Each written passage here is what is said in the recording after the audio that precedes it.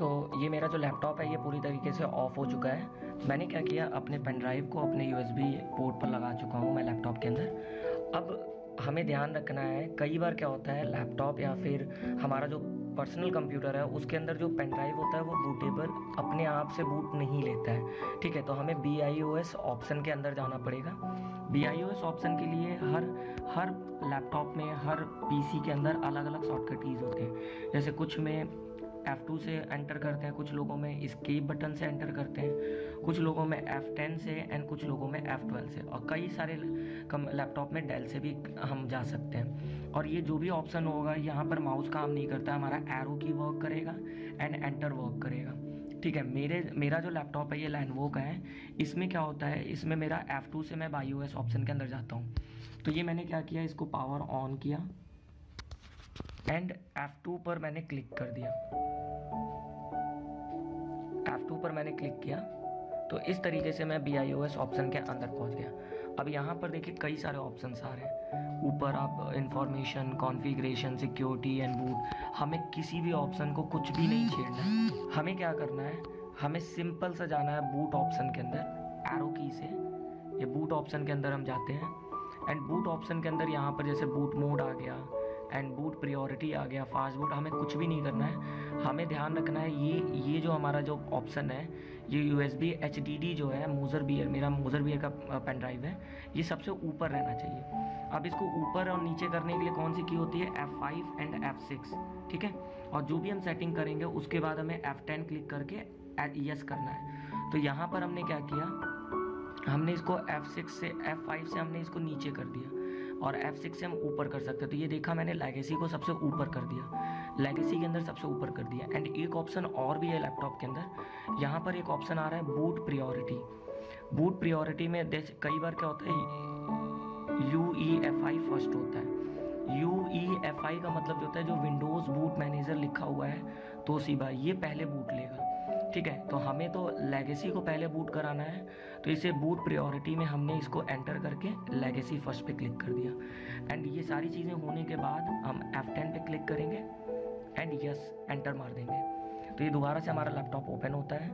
And इस बार क्या होगा? इस बार हमारा पेन ड्राइव बूट लेगा।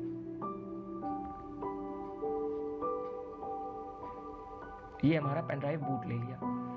सो so, अब इसके बाद जो होगा हमारा इंस्टॉलेशन फ़ाइल जो होगा वो स्टार्ट होगा।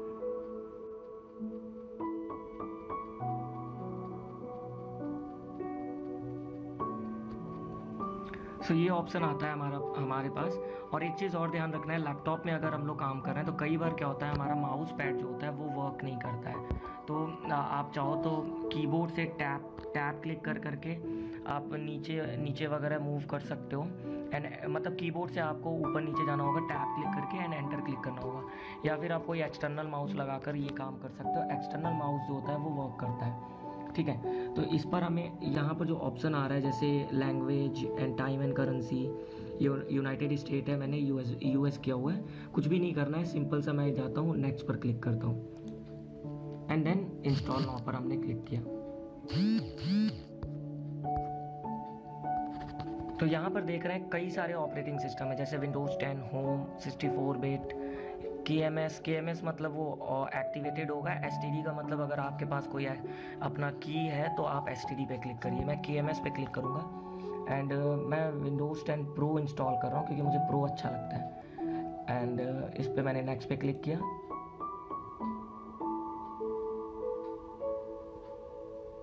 हमें हमें एक्टिवेट करने की ज़रूरत नहीं है क्योंकि ऑलरेडी एक्टिवेटेड रहता है के एम के अंदर। एंड आई एक्सेप्टेड पर मैंने क्लिक किया एंड नेक्स्ट पर क्लिक किया।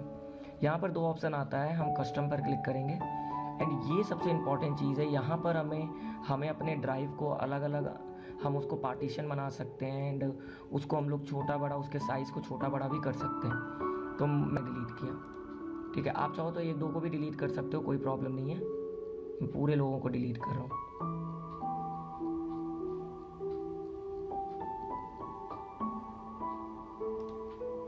जब ये डिलीट कर देते हैं तो अनएलोकेटेड स्पेस आता है यहाँ पर।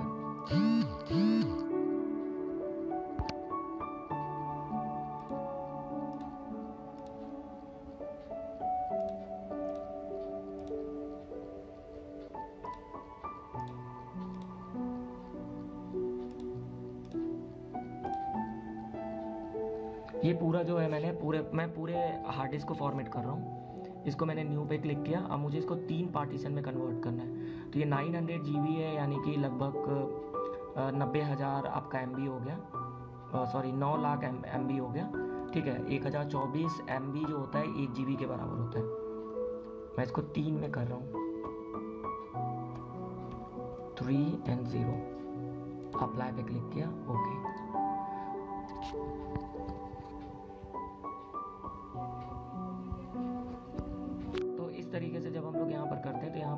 सिस्टम का ड्राइव बनकर आ जाता है। इस पर हमें कोई ध्यान नहीं देना है।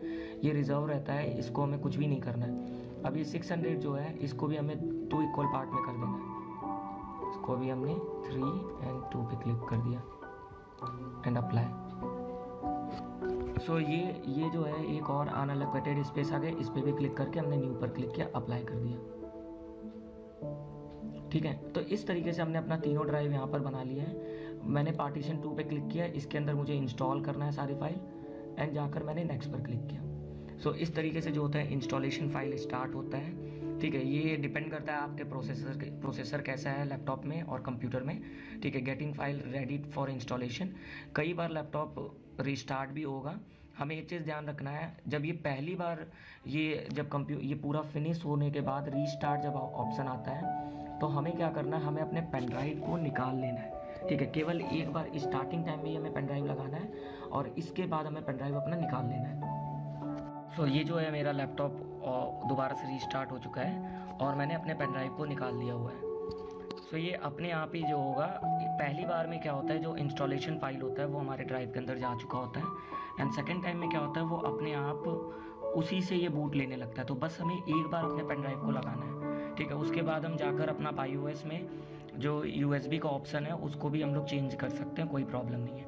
एंड फॉर्मेट होने के बाद हमें दोबारा से चेंज कर लेना है। फ़र्स्ट बूटेबल पर हमें अपना हार्ड डिस्क को फ़र्स्ट नंबर पे कर देना है। जैसे ऑप्शन पहले था वैसे कर देना है। सो so, इस तरीके से ये लेगा। ये थोड़ा सा टाइम लेने वाला है। ठीक है approximately five to ten minute यहाँ पर लगेगा। तब तक आप जाकर कॉफ़ी वगैरह पी सकते हो। और इस पार्ट को मैं स्किप कर रहा हूँ। हो जा गेटिंग रेडी होने के बाद दोबारा से एक बार लैपटॉप रिस्टार्ट लेगा। ठीक है हमें कुछ भी नहीं करना है लैपटॉप को ऑटोमेटिकली रिस्टार्ट होने देना है।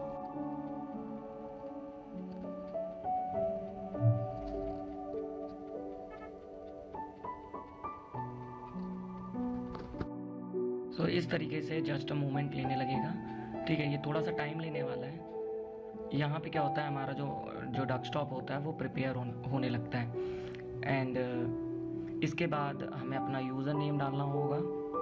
एंड अपने यूज़र नेम के साथ अपना पासवर्ड वगैरह डालते हैं और हमारा ये कहीं ना कहीं फॉर्मेटिंग कंप्लीट हो चुका है।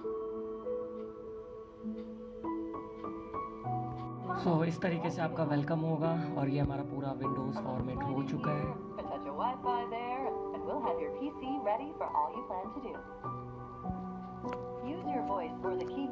सिंपल यस कर देना है स्किप कर देना है एंड uh, हमारा जो डेस्कटॉप है वो प्रिपेयर होने लगेगा.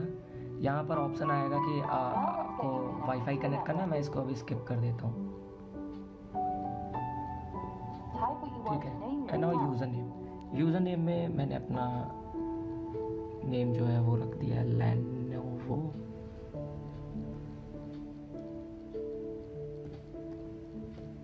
वो and then next password password मुझे नहीं लगाना है। मैंने नेक्स्ट पर क्लिक कर दिया। तो इस तरीके से हमें यस पे क्लिक कर देना है simply These are the